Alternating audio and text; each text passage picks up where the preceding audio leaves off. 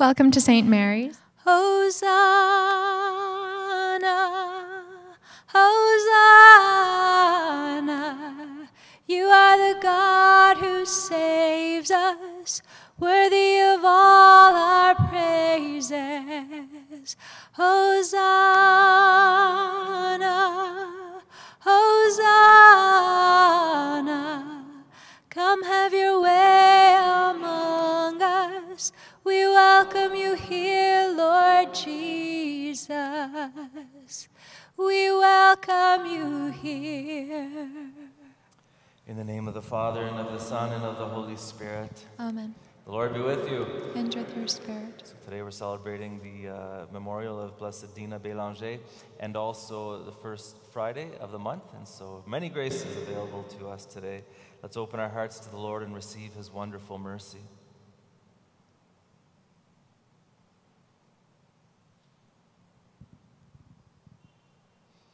Lord Jesus, you are good and forgiving. Lord, have mercy. Lord, have mercy. Lord Jesus, as far as the east is from the west, you cast away our sins. Christ, have mercy. Christ, have mercy. Lord Jesus, you leave the 99 sheep and go after the one lost sheep. Lord, have mercy. Lord, have mercy. May Almighty God have mercy on us, forgive us our sins, and bring us to everlasting life. Amen. Let us pray. O God, the source of all holiness, who raised Blessed Dina Bélanger to the heights of divine love and made known to her the treasures of the heart of your Son, grant that through her prayers and her example, we may faithfully carry out your will in all that we do, through our Lord Jesus Christ, your Son, who lives and reigns with you in the unity of the Holy Spirit, one God forever and ever. Amen.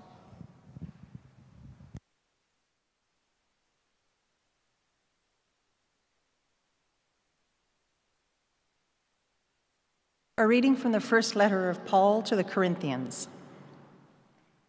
Brothers and sisters, think of us in this way as servants of Christ and stewards of God's mysteries. Moreover, it is required of stewards that they be found trustworthy. But with me, it is a very small thing that I should be judged by you or by any human court. I do not even judge myself. I am not aware of anything against myself, but I am not thereby acquitted.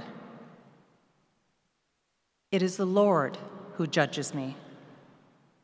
Therefore, do not pronounce judgment before the time, before the Lord comes, who will bring to light the things now hidden in darkness and will disclose the purposes of the heart. Then each one will receive commendation from God. The word of the Lord.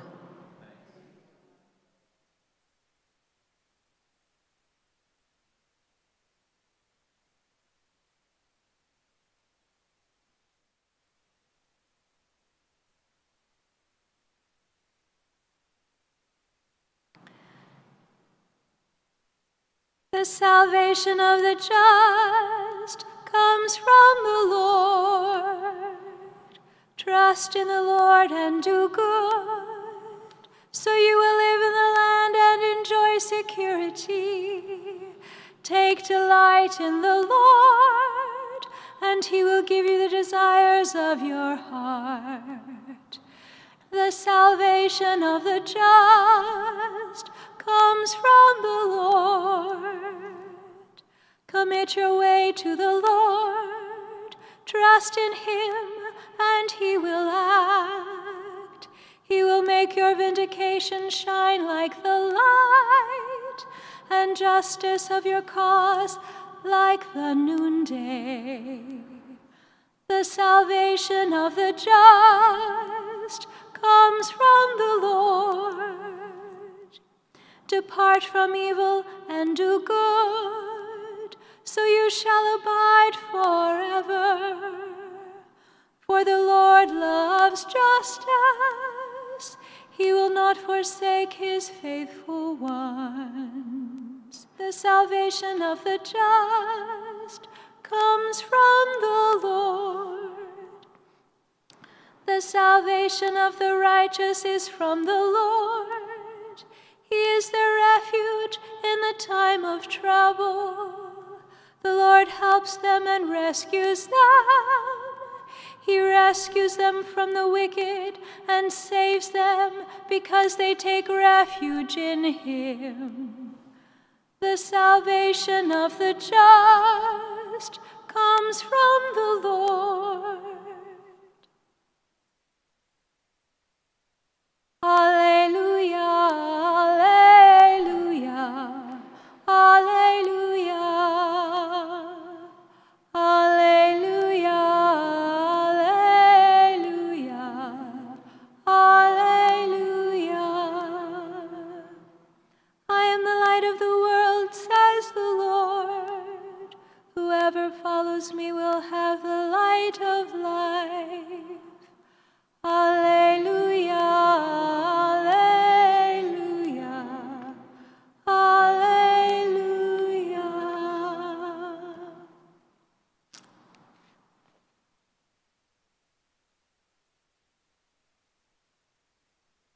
Lord be with you. A reading from the Holy Gospel according to Luke. The scribes and the Pharisees said to Jesus, John's disciples, like the disciples of the Pharisees, frequently fast and pray, but your disciples eat and drink. Jesus said to them, You cannot make wedding guests fast while the bridegroom is with them, can you? The days will come when the bridegroom will be taken away from them, and then they will fast in those days. Jesus also told them a parable. No one tears a piece from a new garment and sews it on an old garment. Otherwise, the new will be torn, and the piece from the new will not match the old. And no one puts new wine into old wineskins. Otherwise, the new wine will burst the skins and will be spilled, and the skins will be destroyed. But new wine must be put into fresh wineskins. And no one, after drinking old wine, desires new wine, but says the old is good. The Gospel of the Lord.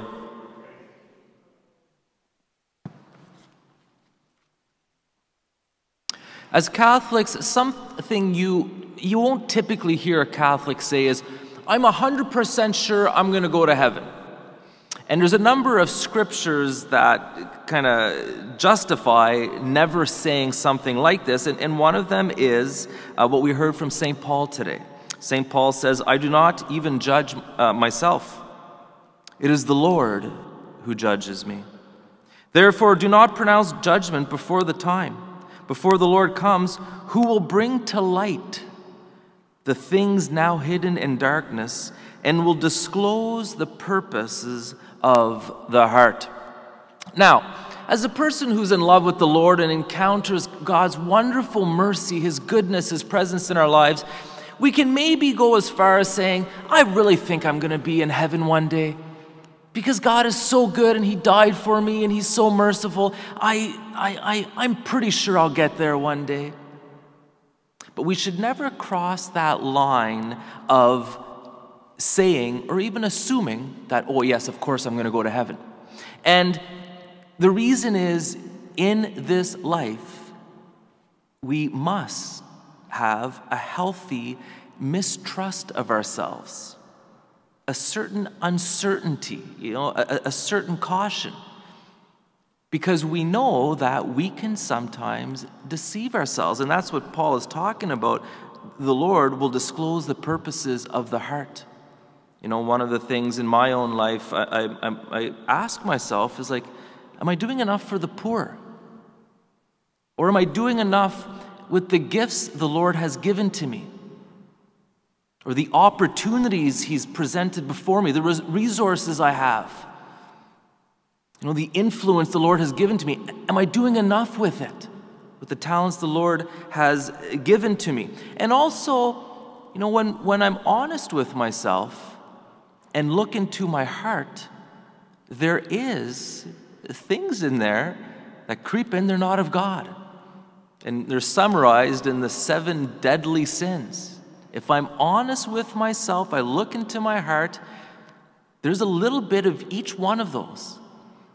A little bit of anger, a little bit of uh, gluttony, a little bit of greed, pride, lust, laziness, envy. And these are things that if we aren't on guard, if we don't keep watch, if we're not vigilant, they can take over and destroy us. And every one of us, this is our, you know, a daily battle, a, da- a daily uh, reality. And so, yes, we know that the Lord Jesus died for us, that He shed His blood for, for us, that He opened the gates of heaven for us, and He's so good to us. And He's so wonderful, He's so merciful. We delight in Him. But we know that we have to persevere to the end. And there's a certain beauty to the humility of Catholics in particular, because Catholics are especially known for this, that we're like, no, no, no. I'm not 100% sure that I'll get there. It's, it, it's, it's up to the Lord ultimately to, to judge me, and it's up to me to not grow lax or lukewarm or get distracted. Remember King Solomon. Remember King Solomon. So gifted, so blessed by the Lord, so anointed, so wise. And he lost his way. And so again, we remember the words of our Lord Jesus He who perseveres to the end will be saved.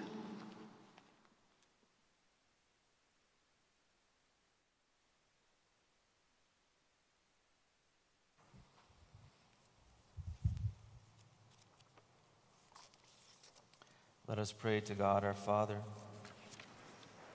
that He bring us closer to the values of the gospel to renew the church and the world. That the church, the people of God, and its leaders may follow the promptings of the Holy Spirit to speak to the people of today the ever new language of the gospel.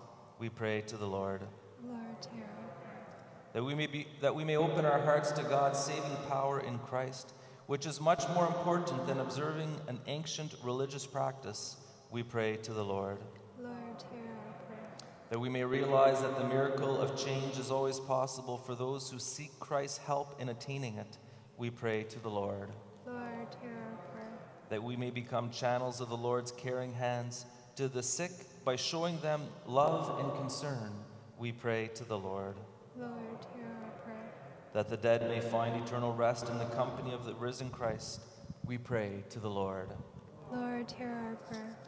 We pray for the intention of today's Mass, for the intentions of all the souls in purgatory, especially the forgotten, offered by Claude and Ida Bouchard.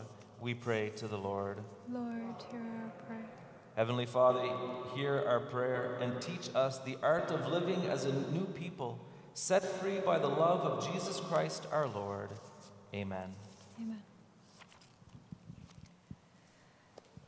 Wonderful, merciful Savior, precious Redeemer and friend, who would have thought that a lamb could rescue the souls of men? Oh, you rescue the souls of men. Counselor, comforter, keeper, Spirit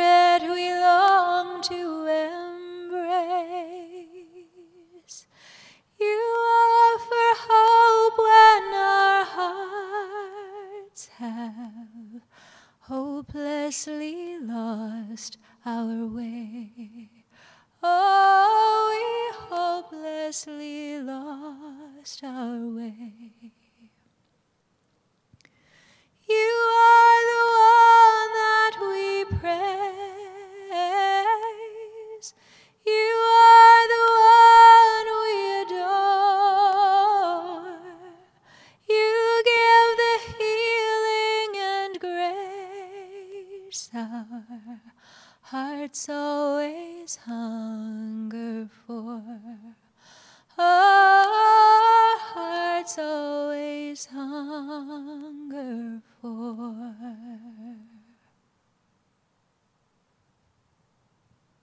brothers and sisters, that my sacrifice and yours may be acceptable to God, the Almighty Father. May the Lord accept the sacrifice at your hands for the praise and the glory of his name, for our good and the good of all his holy church. O God, who in the offerings pre- present, presented here provide for the twofold needs of human nature, nourishing us with food and renewing us with your sacrament, grant, we pray, that the sustenance they provide may not fail us in body or in spirit, through Christ our Lord. Amen. The Lord be with you. And with your spirit, Lift up your hearts, we lift them up to the Lord. and let us give thanks to the Lord our God. It is right and just. It is truly right and just, our duty and our salvation, always and everywhere to give you thanks, Father most holy, through your beloved Son, Jesus Christ, your word through whom you made all things, whom you sent as our Savior and Redeemer, incarnate by the Holy Spirit and born of the Virgin. Fulfilling your will and gaining for you a holy people, he stretched out his hands as he endured his passion, so as to break the bonds of death and manifest the resurrection. And so, with the angels and all the saints, we declare your glory, as with one voice we acclaim Holy, holy, holy Lord, God of hosts, heaven and earth are full of your glory. Hosanna in the highest. Blessed is he who comes in the name of the Lord. Hosanna in the highest. You are indeed holy, O Lord, the fount of all holiness. Make holy, therefore, these gifts, we pray, by sending down your Spirit upon them like the dewfall, so that they may become for us the body and blood of our Lord Jesus Christ. At the time he was betrayed and entered willingly into his passion, he took bread, and giving thanks, broke it, and gave it to his disciples, saying, Take this, all of you, and eat of it, for this is my body, which will be given up for you.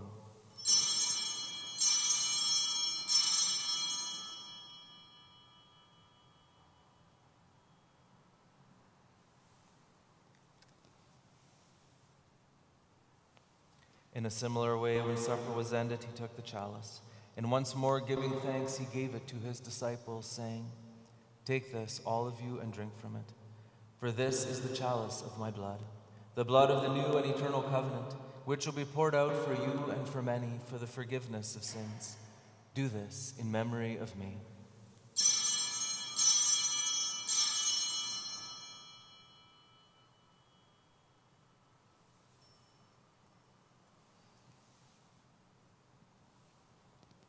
The mystery of faith. When we eat this bread and drink this cup, we proclaim your death, O Lord, until you come again. Therefore, as we celebrate the memorial of his death and resurrection, we offer you, Lord, the bread of life and the chalice of salvation, giving thanks that you have held us worthy to be in your presence and minister to you. Humbly we pray that partaking of the body and blood of Christ, we may be gathered into one by the Holy Spirit. Remember, Lord, your church spread throughout the world, and bring her to the fullness of charity, together with Francis, our Pope, Terrence and Marcel, our bishops, and all the clergy. Remember also our brothers and sisters who have fallen asleep in the hope of the resurrection, and all who have died in your mercy. Welcome them into the light of your face. Have mercy on us all, we pray, that with the Blessed Virgin Mary, Mother of God, with blessed Joseph, her spouse, with the blessed apostles, with, Saint, uh, with blessed Dina Bélanger, and all the saints who have pleased you throughout the ages, we may merit to be co heirs to eternal life, and may praise and glorify you through your Son, Jesus Christ. Through him, with him, and in him, O God, Almighty Father, in the unity of the Holy Spirit, all glory and honor is yours forever and ever. At the Savior's command, informed by divine teaching, we dare to say, Our Father, who art in heaven, hallowed be thy name. Thy kingdom come, thy will be done on earth as it is in heaven. Give us this day our daily bread, and forgive us our trespasses, as we forgive those who trespass against us. And lead us not into temptation, but deliver us from evil. Deliver us, Lord, we pray, from every evil. Graciously grant peace in our days, that by the help of your mercy we may be always free from sin and safe from all distress, as we await the blessed hope and the coming of our Savior, Jesus Christ. For the kingdom and the power and the glory are yours now and forever. Lord Jesus Christ, who said to your apostles, Peace I leave you, my peace I give you. Look not on our sins, but on the faith of your church, and graciously grant her peace and unity in accordance with your will, who live and reign forever and ever. Amen. The peace of the Lord be with you always. And with your spirit. Let us offer each other the sign of peace.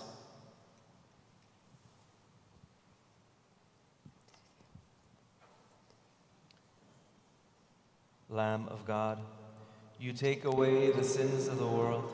Have mercy on us. Lamb of God, you take away the sins of the world. Have mercy on us. Lamb of God, you take away the sins of the world. Grant us peace. Yes, may the body and blood of our Lord Jesus Christ bring eternal life to us to receive it. Receive your body and blood, Lord Jesus Christ, not bring the judgment and condemnation, but through your loving mercy be for me protection of mind and body. Amen.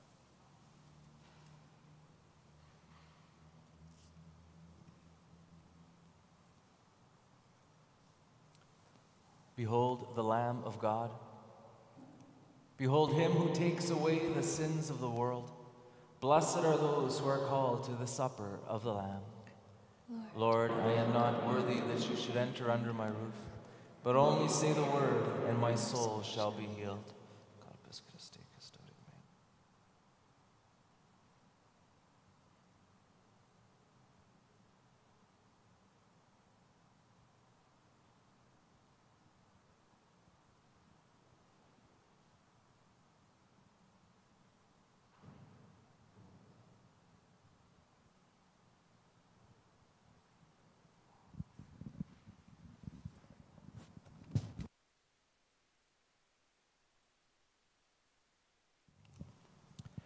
An act of spiritual communion. My Jesus, I believe that you are present in the most holy sacrament. I love you above all things, and I desire to receive you into my soul. Since I cannot at this moment receive you sacramentally, come at least spiritually into my heart. I embrace you as if you were already there and unite myself wholly to you. Never permit me to be separated from you. Amen. Let us pray.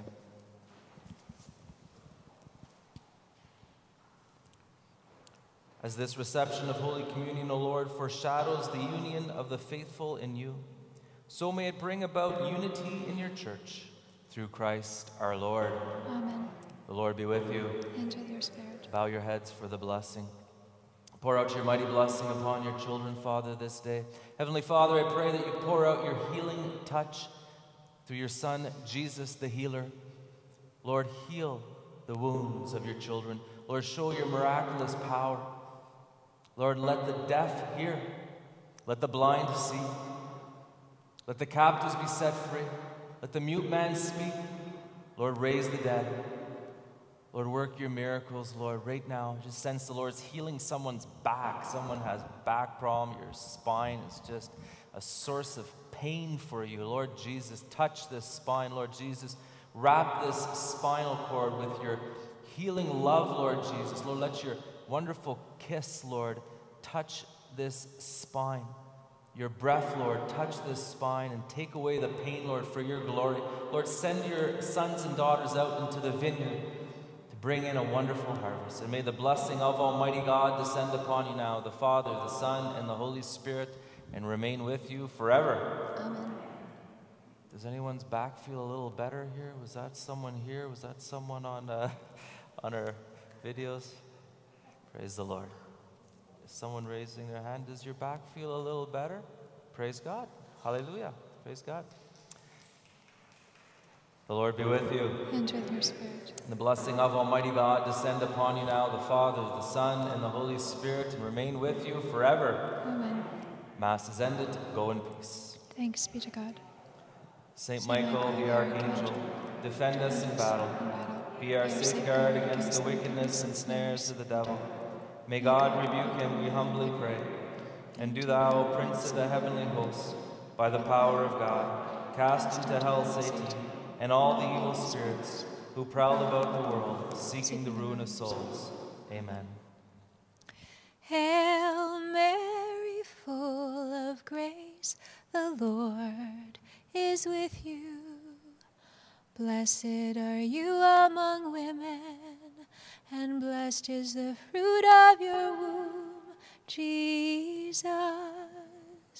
Holy Mary, Mother of God, Pray for us sinners now and at the hour of our death. Amen.